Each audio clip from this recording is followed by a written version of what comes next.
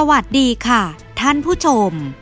พบกับช่องเจาะข่าวดังกันอีกเช่นเคยนะคะ ความคืบหน้าล่าสุด วันที่ 20 มกราคม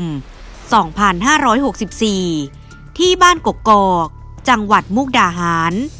นายชัยพลวิภา หรือลุงพล และนางสมพรหลาโพ หรือป้าแตน พร้อมทนายความ ตั้งโต๊ะแถลง เคลียร์ปมประเด็นร้อน และดรามา่า เริ่มจากลุงพลชี้แจง ถึงปมเปิดบัญชี รับบริจาคว่าสำหรับยอดเงินในบัญชีรับบริจาค มียอดเงินรวมทั้งสิ้น 880,000 บาท ก่อนเบิกทั้งหมด 3 ครั้ง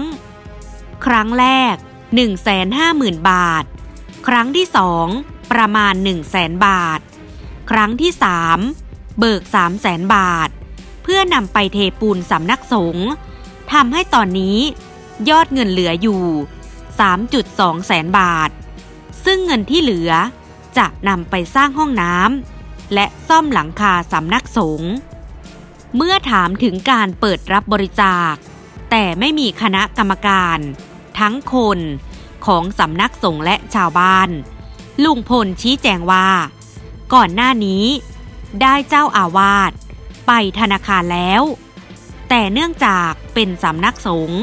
จึงไม่มีเอกสารที่จะเปิดได้ ธนาคารจึงแนะนำให้เปิดอีกวิธี โดยใช้สามชื่อ คือตนเอง ผู้ช่วยหมู่บ้านกกอกและยูทูบเบอร์ส่วนที่ดึงยูทูบเบอร์มา เพราะจะได้รู้เห็นและตรวจสอบได้ อีกทั้ง หากล่าช้า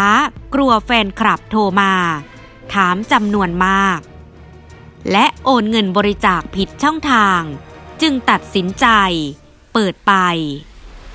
ซึ่งการเบิกจ่ายเงิน ต้องใช้ทั้งสามคนไปพร้อมกัน แต่หลังจากเปิดบัญชีรับบริจาค มีภาพไม่เหมาะสม โดยมีผู้นำภาพบุคลิก มาแอบอ้างด้วย ซึ่งยืนยันไม่ได้ทำและมีนักข่าว ขอให้ปิดบัญชี พอถึงวันจันทร์ จึงได้ไปปิดบัญชี โดยได้ตัวเลข 880,000 บาท เมื่อถามถึงเหตุการณ์กับสื่อท่านายความกล่าวว่า ลุงพลเครียดและอารมณ์แปรปรวน โดยมีหลายคดี ทั้งเรื่องภาพการรับบริจาค ต้นตะเคียนทำให้มีอาการเครียด ที่สำคัญลุงพลไม่ใช่ดารา การแสดงออก จึงไม่เหมือนคน ในกรุงเทพมหานคร การควบคุมอารมณ์ จึงไม่เท่าคนมีวุฒิภาวะ ตอนนี้ลุงพลรู้สึกผิด และพร้อมรับโทษ ขอโทษสื่อทุกช่อง และสำนึกผิด เมื่อถามถึงภาพที่นำคนอื่นมาขอร่วมรับบริจาคด้วย อาจเป็นภาพที่ไม่เหมาะสม ลุงพลกล่าวว่า ตนไม่อยากให้เหตุการณ์นี้เกิดขึ้น เป็นภาพดูไม่ดี ซึ่งไปไวมาก แต่ยืนยันไม่ได้ทำทั้งนี้ถ้าเหตุการณ์ที่เกิดขึ้นผิด ก็ยอมรับผิดทุกกรณีสำหรับนักข่าวสองช่อง ตนพยายามไปคุยด้วย ยืนยัน ตนเป็นคนตรงไปตรงมา ไม่ได้เรียบร้อย ใครถามมาก็ตอบไป สัญญาว่าจะไม่เกิดเหตุแบบนี้อีก ยืนยัน ไม่ได้ปิดกั้นสื่อ ส่วนประเด็นงดให้สัมภาษณ์สื่อสองเดือนนั้น ลุงพลกล่าวว่า ได้คุยกับนักข่าวคนหนึ่ง แต่ยังไม่ได้คุยกับสื่ออื่น ก่อนยูทูบเบอร์ได้ยิน จึงพยายามมาช่วยปิดกัน้นตอนนี้ตนต้องอาศัยสื่อ จนกว่าคดีนี้จะจบ เรามาต่อกันที่ทางเพจดังกันนะคะ เพจดังได้โพสต์ข้อความลงในเพจ โดยมีใจความว่า เฮ้เฮ้เพ่เพ่เดเดนะ ท่านตื่นตื่นแฮชแท็กอย่าใช้คำว่า ไม่ใช่คนกรุงเทพ เพราะมันไม่จำเป็นแฮชแท็กอย่ามาใช้คำว่าการศึกษาไม่เยอะแฮชแท็กอย่าอย่าใช้คำว่าวุฒิภาวะทางอารมณ์ไม่มีแฮชแท็กอย่าพูดคำว่าคนบ้านๆไม่ใช่ดารา เลยควบคุมอารมณ์ไม่ได้ ฟังนะท่านแพรที่ไอ้ผลมันเครียด เพราะไม่ว่าจะเรื่องสร้างองค์พญานาค และศาลา เปิดรับบัญชีเงินบริจาค หรือไม่ให้นักข่าวเขาสัมภาษณ์ และเครื่องดักฟัง และที่สำคัญ เอาต้นมะคาย้ำๆนะ ต้นมะคาแถมจะชก และทุบหลังกระชากไม้น้องฟ้า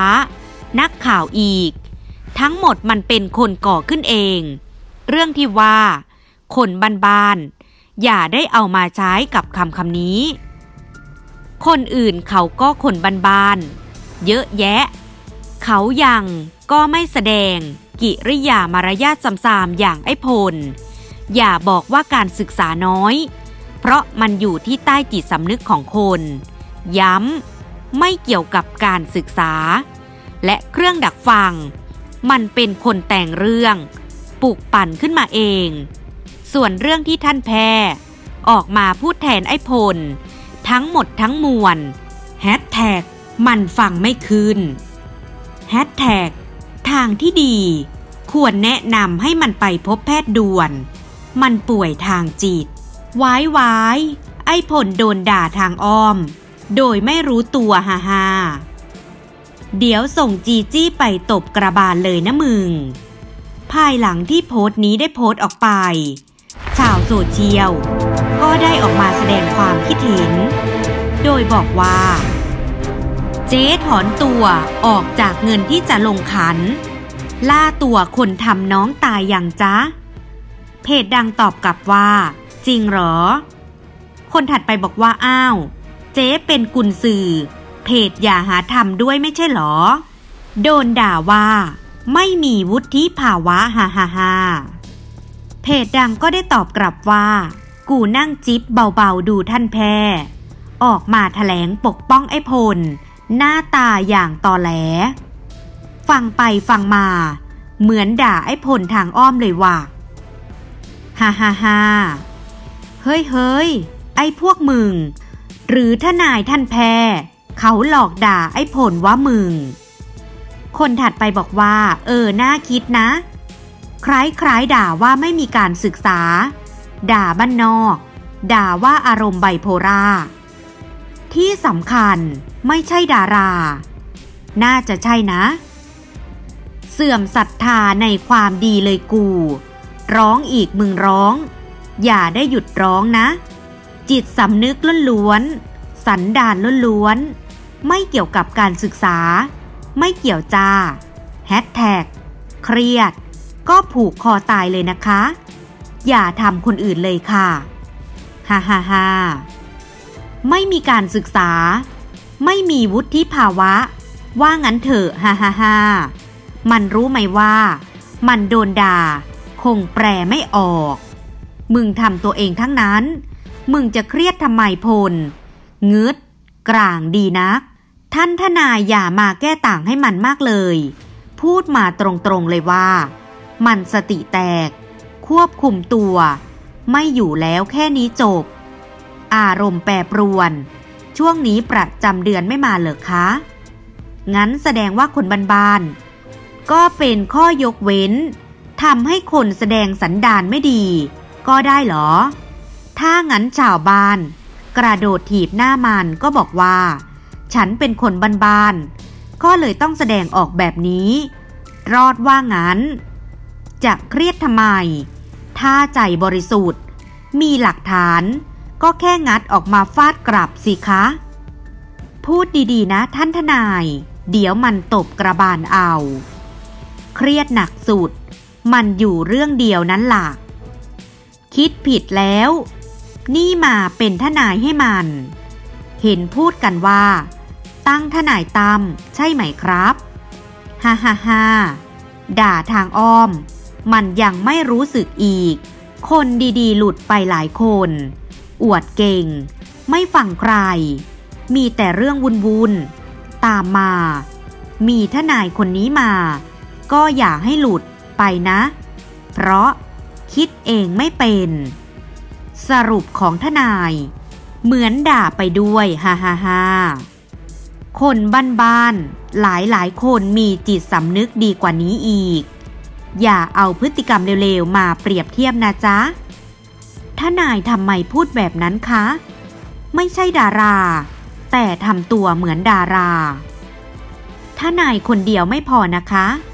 คุณถ้านายหาเพื่อนมาช่วยอีกสักสามคนนะ ถึงจะชนะ โถตอนทำไม่คิด ทีนี้จะมาสำนึก สายไปแล้วมั้ง ถ้านายรอเสียบมานานแล้ว สมหวังเสียทีนะ ฮ่าฮ่าฮ่าสันดานเดิมและความโลภมันทำให้ออกอาการต่ำสะทุน เดาไว้เลยสิบล้านที่ได้ มาง่ายๆ มันจะหมดไป ในไม่ช้านี้ ถ้านายก็ทำงานตามหน้าที่อนะเข้าใจ ไม่มีงานก็ไม่มีเงินทำไปค่ะ คุณมีสิทธิ์แก้ตัวแทนลูกความ แต่คนเขาไม่เอาแล้ว นักเรงหัวไม้ คุณทนายทำจนคุ้มค่าแรง แต่จะได้ผลดีมากน้อยแค่ไหน ขอเอาใจช่วยนะจ๊ะทนาย ทนายพูดอะไรฟะ มาอีกละ ไม่ใช่คนกรุงเทพ เกี่ยวไรวะ ขนาดคนบ้านๆนะ ยังทำได้ขนาดนี้ แลดูฟังไม่ขึ้นเลยค่ะ ท่านทนาย ความรุนแรงไม่โอเคนะคุณทนาย เราไม่สนใจว่าคุณเป็นใคร แม้ว่าคุณจะเป็นทนาย แพทย์ นายกรัฐมนตรี หรือราชาก็ตาม หากคุณละเมิด คุณก็เป็นคนขี้ขลาด คุณทนายก็ระวังตัวไว้มั่ง วันไหนอารมณ์ไม่ดี ขึ้นมา จะมาแว้งกัดคุณทนายเอานะจ๊ะ ที่แน่ๆ กูก็เริ่มจะเกลียดไอ้สองผัวเมียนี่ขึ้นมาทุกวัน เพราะหน้าเฟซมีแต่ข่าวไอ้หานี่เต็มหมดเลย จะเป็นจะตาย จะคุกตารางยังไงก็ช่าง มึงสิ ไม่มีผลประโยชน์อะไรกับชีวิตเลย แต่หน้าเฟซเลื่อนไปไหน ก็มีแต่ข่าวไอ้นี่เต็มไปหมดเลย